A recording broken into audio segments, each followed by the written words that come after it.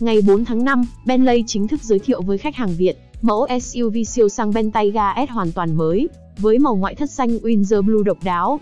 Mốc thời gian này khá muộn so với thông báo trước đó, mẫu có mặt tại thị trường vào đầu năm 2022.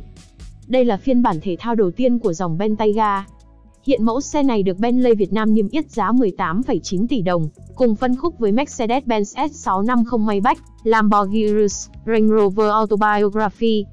Bentayga S có một vài thay đổi đáng chú ý, cụm lưới tản nhiệt có kích thước lớn hơn, dạng kim cương, hai bên lưới tản nhiệt là cụm đèn pha ma trận đèn LED thông minh, thiết kế với kiểu hình tròn đặc trưng.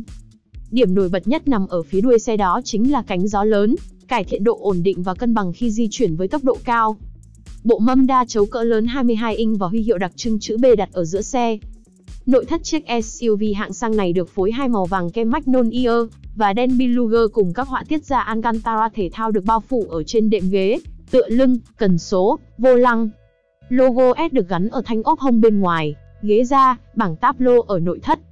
Về mặt tiện ích, xe được trang bị ghế lái có chức năng sưởi, massage kết hợp với vô lăng 3 chấu, cùng cặp màn hình 10,1 inch độ phân giải Full HD 1080p ở phía sau tựa đầu của hai ghế trước với các chương trình giải trí đa dạng.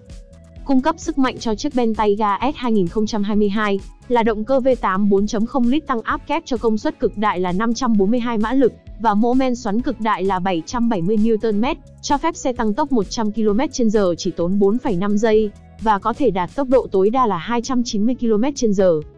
Bentayga 2022S tập trung vào việc tăng hiệu suất cao.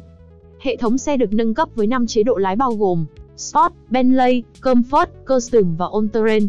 Ở phiên bản này, sự khác biệt lớn nhất chính là chế độ lái, cảm giác lái và ngoại hình thể thao.